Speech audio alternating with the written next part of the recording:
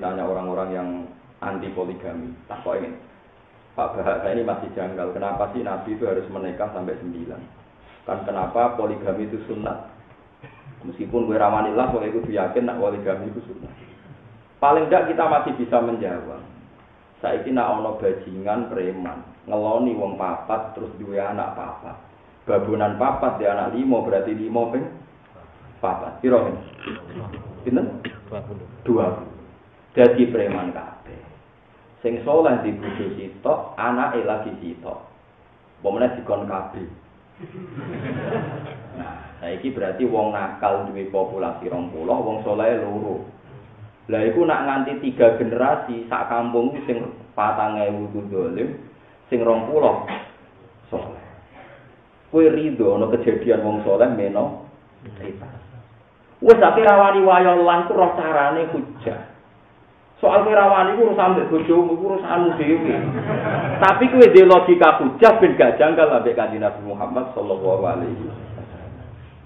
Paham ya? Begitu juga masalah ifat. cawe wedok mbok rabi itu dadi gak zina, dadi wong apik. Berarti kowe ngapikno wong sitok. Iku yo apik, loro luwe apik, telu. Ya ngono wae. Tapi niku Gusti nak wayah ucul sitok iku urusan nem. Tenangane kok bantah. Paling gak kowe roh kena apa nabi ku poligami, sahabat poligami mergo ngapikno wong sitok wae apik. Apa nek ngapikno wong loro. Apa meneh? Wong diware hujah wae kok ngenteni wis. Ya pokoke hujah iku logika ke ora usah iso buktekno, paham nggih? Mpun tak kandhani ya kene selamat donya napa? Akhir. Masa kowe kalah mbek wartawan Republika, wartawan KR. Ndak saya ini nyata, saya punya sejarah nyata. Ketika Agim ya Agim yang terkenal dulu kan poligami terus jatuh. Walhasil terus tulisan di media-media nasional itu kok yang dikritik tidak Agim tapi tentang poligami. Bahwa poligami itu hanya nuruti seks, hanya nuruti pemuasan nafsu. Dan yang nulis itu tokoh-tokoh muslim yang mungkin terjebak nggak tahu permainannya mereka. Walhasil ada wartawan ya ada wartawan Republika KR beberapa itu tanya saya Pak Bahak saya ini ahli jurnalistik Pak Bahak ahli hukum Islam begini loh kalau Aadim jatuh itu tidak apa-apa dia hanya seorang Aadim tapi sekarang semua tulisan itu mengarah umat Islam dididik janggal dengan poligami Sampai tahu tujuannya biar umat Islam janggal dengan Nabi Muhammad Wasallam.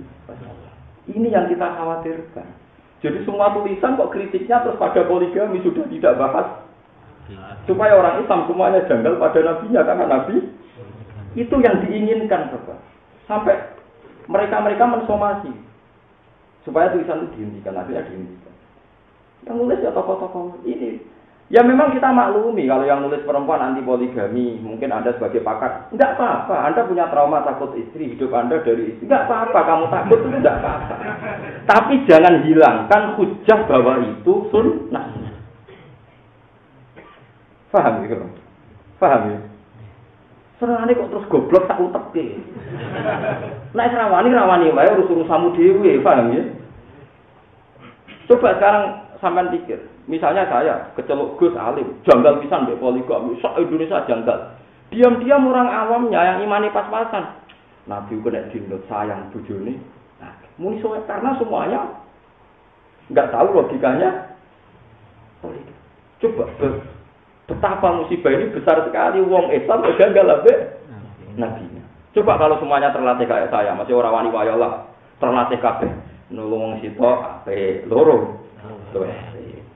gendowe anake akeh. Berarti populasine nak wong soleh populasine sithik kalah ambek Berarti populasi akeh. Ape, semua orang ngono Lah nek bayangno, tapi nak akeh bapake Rukin marah terus diburu kabeh. sing dolim sehat-sehat. Misalnya terus kowe bayangno, kok sing mbok bayangno Rukin wong Islam Ning Jakarta si Sugih rompok rugen tok ku laopo lho Kita kan salah contoh kan. Ya misalnya contoh Islam Abu Rizal tadi kan ayo kena laopo contohnya apa?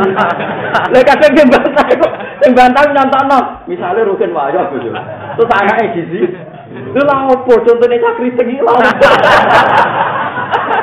Sing kon gawe contoh rugen iku sapa?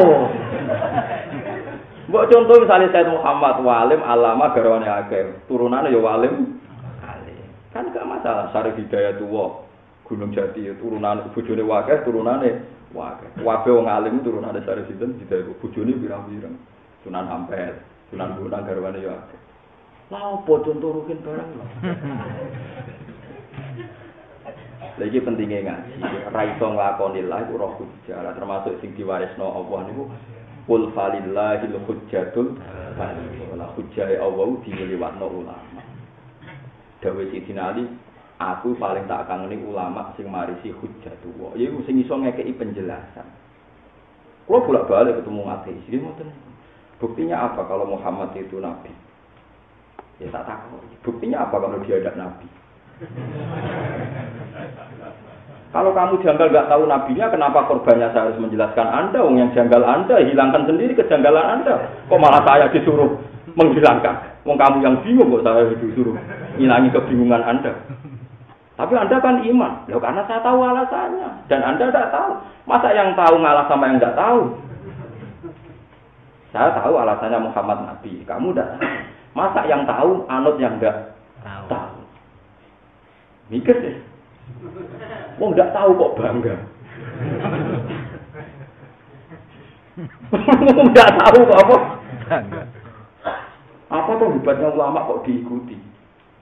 Loh kamu nggak tahu kok bangga dengan pemikiran anda, wong nggak tahu. Nah, kalau saya tahu hebatnya ulama, maka saya tidak janggal hormat ulama. Tapi saya tidak tahu, ya sudah. Tidak tahu itu sifat naksun, sifat kekurangan. Tahu itu sifat kelebihan. Masa yang tahu, anut warai ke carane, paham?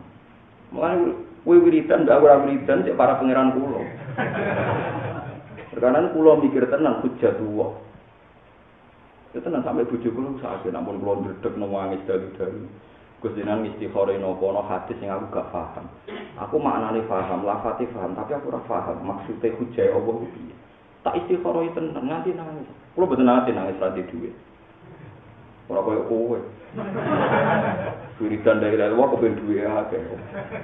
Jadi pani pangeran kok nyaur utang. Pangeran Oh pangeran ra melok gadekno BPKB kok boni. Lu sing utang yo sapa sing nganggo iku? Sapa? Kok terus pangeran mbok ora elok Apa pangeran melok nganggo? Nah kecuali pangeran hukumnya melok nganggo buku masjid tak digo perdamaian dunia iku oleh. Mulane gharim wong sing utang demi kebaikan oleh jaga. Wong utang gue wetengmu, gue kepentingan, gue pak ini lapor apa? Pantasnya aku loh cara diutang lapor pangeran. Mergo tak gue dakwah, lah utang gue gue. Jadi mulanya hujai Allah itu penting. Mereka nak hujai Allah hilang kasus. Ojo nganggo keramat karena tidak semua orang mukmin itu bisa keramat, nganggo akal. Tidak semua orang mukmin bisa nopo keramat. Tapi nak akal lah anggar wong iso dilatih. Mulane agama ini kaum yakilun di kaum ya, meskipun keramat itu ada bagi orang tertentu, tapi nggak bisa karena ada semua orang bisa, ada semua orang apa